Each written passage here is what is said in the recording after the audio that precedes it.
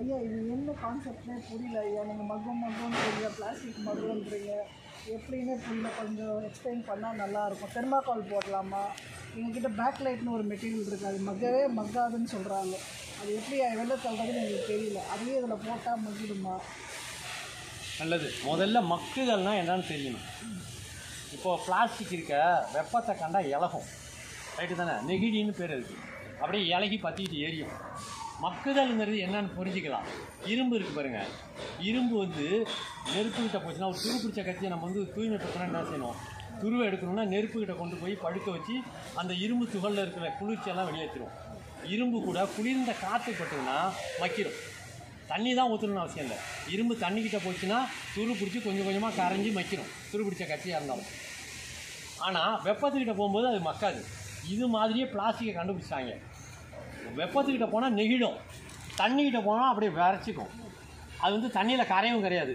இரும்பு ஆனால் தண்ணிக்கிட்ட போனால் கரைஞ்சி துருவாயிரும். துருவாயி தட்டுனீங்கன்னா பல பழம் கொட்டினும் கரைஞ்சிரும். அதேமாதிரி வெப்பத்துக்கிட்ட போனால் இரும்பு குயில் வரும். இது வெப்பத்துக்கிட்ட போனால் இலகிடும் தண்ணிக்கிட்ட போனால் அப்படியே திடப்பொருளாகி நிற்கும். கரையாது தண்ணியில் தண்ணியில் கரைஞ்சாதான் மக்கிருமே. கரையாது. இது மாதிரி ஒரு சிக்கலான பொருளை கண்டுபிடிச்சாங்க இதுக்கு பேர் பிளாஸ்டிக்.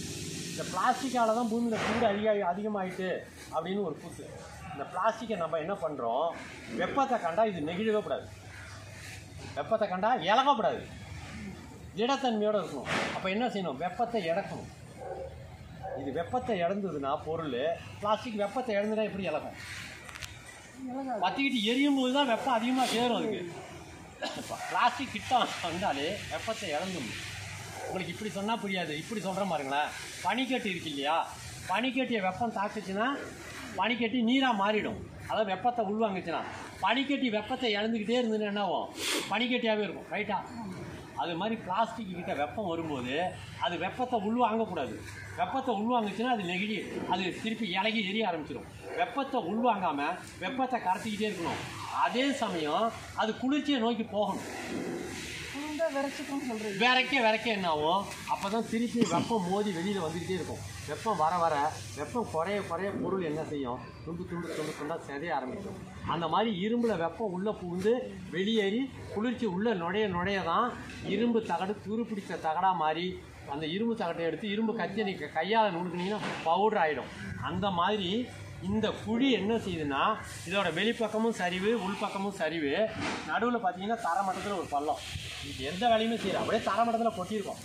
மண்ணெண்ணெய் புனல் மாதிரி கோன் டைப்பில் இருக்குது இது. பூம்பு வடிவத்தில் வெளிப்பக்கமும் நாற்பத்தஞ்சு டிகிரி சரிவு உள்பக்கமும் சரிவு.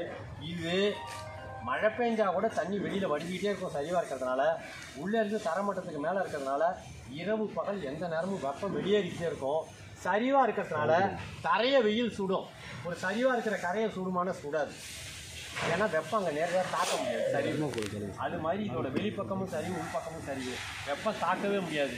ஆனால் குளிர்ச்சி உள்ளே வாங்கிட்டுக்கிட்டே இருக்கும். வெப்பம் வெளியேறிக்கிட்டே இருக்கும். குளிர்ச்சி உள்ளே இறங்கிக்கிட்டே இருக்கும். இதுதாங்க மடித்தல் வினை நடக்கிற இடம். சுருக்கமாக சொன்னால் தண்ணியில் ஒரு ஒரு தரையில் ஒரு பள்ளம் தோண்டி குப்பையெல்லாம் அள்ளி போட்டு மூடிட்டு கொஞ்ச நாள் கழிச்சு தோண்டிட்டு அது உள்ள கையை விட்டிங்கன்னா சுடும். அது வெந்து போயிடுது. அது மக்கிறது இல்லை. மக்கிறதுன்னு இவங்க தப்பாக சொல்லுவாங்க. அது மக்காது வெந்து போயிடும் அதேமாதிரி குப்பையெல்லாம் அள்ளி தண்ணியில் கொட்டிங்கன்னா தண்ணியில் அது அழுகிரும் அல்லது கரைஞ்சிடும் அது மக்காது. காற்றுல கரைஞ்சினா தரையில் கலந்துனா காஞ்சி போயிடும் அப்போ மக்குதல்ங்கிறது தண்ணி உள்ளே கிடந்தாலும் ந நடக்காது. தரைக்குள்ளே தோண்டி புதைச்சாலும் நடக்காது. தரையில் தரை மேலே கிடந்தாலும் நடக்காது கா அது நடக்காது காஞ்சிடும் இந்த மாதிரி சரிவாக இருந்தால் மட்டும்தான் அது உள்ளேருந்து வெப்பம் வெளியேறிக்கிட்டே இருக்கும். குளிர்ச்சி உள்ளே இறங்கிக்கிட்டே இருக்கும். மக்குதல் வினை அல்லது மடித்தல் வினை நடக்கிற ஒரே ஒரு இடம் இதுதான். அந்த வேலை நடக்கிற இடத்துல அதை கொண்டு விட்டாங்கன்னா அந்த வேலை நடக்கும். அந்த மாதிரி இந்த வேலை நடக்கிற இடத்துல பிளாஸ்டிக் இரும்பு கட்டை குப்பை கூளம் மக்கிற குப்பை மக்காத குப்பை எல்லாத்தையும் இந்த மாதிரி நீங்கள் எவ்வளோ உயரம் வேணாலும் அப்படியே தலையில் போட்டாலே. தெர்மாக்கோல் கூட போடலாம். தெர்மாக்கோல் எல்லாத்தையும் போடுங்க. அதாவது நான் நிறைய தடவை சொல்லுவேன். யார் பேச்சையும் நம்பாது. எப்பொருள் ஆயினும் மெய்ப்பொருள் காண்பது அறிவு. உண்மை பார்க்கணும். ஒரு பொருள் எத்தன்மை தாயினும் எப்பொருள் எத்தன்மை தாயினும் அப்பொருள் மெய்ப்பொருள் காண்பது அறிவு. பிளாஸ்டிக் மக்கவே மக்காது. இரும்பு கூட தான் மக்காது. அதனால தான் இரும்பு உபயோகப்படுத்துகிறோம் தண்ணிக்கிட்ட போயிடுச்சு இரும்பு மக்கிறோம் செம்பு மக்கிறோம் எல்லாம் தாது பொருளாக பூமியிலேருந்து வெட்டி எடுக்கிறோம். பிளாஸ்டிக்கும் மக்கும். ஏங்க எல்லாத்தையும் மக்க வைக்கிற பூமி. கருங்கலே தூள் தூளாக சதைச்சு மணலாக்குற பூமி. இதை செய்யாதான் என்ன? அதை எப்படி செய்ய வைக்கணும்னு நம்ம தெரிஞ்சுக்க தான் முடிக்கிறோம். எப்போவுமே எப்போ தெரியுமா தோற்று போகிறோம் வேலையை எப்படி செய்யணும்னு தெரியாமல் தான் தோற்று போகிறோம் தோற்று போகிறதுக்கு காரணம் அறியாமை. வெற்றி என்பது அறியாமையினால் வருகிறது. தோல்வி என்பது அறியாமையினால் வருகிறது. வெற்றியை இழத்தலும் அறியாமையினால் வருகிறது. வெற்றி என்பது அறிவினால் வருகிறது. அறிவால் என்னென்னத்தையோ கண்டுபிடிச்சோம். பிளாஸ்டிக்கை கண்டுபிடிச்சோம். அணுகுண்டை கண்டுபிடிச்சோம். அணு உலையை கலந்து மின்சாரம் கண்டுபிடிச்சோம். பிளாஸ்டிக்கை கண்டுபிடிச்ச அறிவு பிளாஸ்டிக்கை மக்க வைக்கிறது அப்படின்னு கண்டுபிடிக்கல. நம்ம கண்டுபிடிச்சிட்டோம். செஞ்சு பார்த்து நீங்கள் சொல்லுங்கள் சும்மா கிடக்கிற பிளாஸ்டிக்கை தனியாக தரையில் போடுங்க. இந்த மாதிரி சரிவில் போடுங்க. சரிவுலையும் குப்பையை போடுங்க. தரையில் தோண்டி குப்பையை வைங்க. தரையிலேயே கொஞ்சம் குப்பையை பரப்பி வைங்க. எது மக்குதுங்கிறத செஞ்சு பாருங்கள் அங்கே விடை வந்து எதுவாக இருந்தாலும் தான் செஞ்சு பார்த்து உண்மையை கண்டுபிடிக்கும் போது தான் உண்மை உண்மையாகவே கண்ணுக்கு தெரியும். அடுத்தவங்க பேச்சை நம்பி இது வரைக்கும் ஏமாந்தது போதும். இனிமேலும் என் பேச்சையும் நம்ப வேண்டாம் யார் பேச்சையும் நம்ப வேண்டாம்.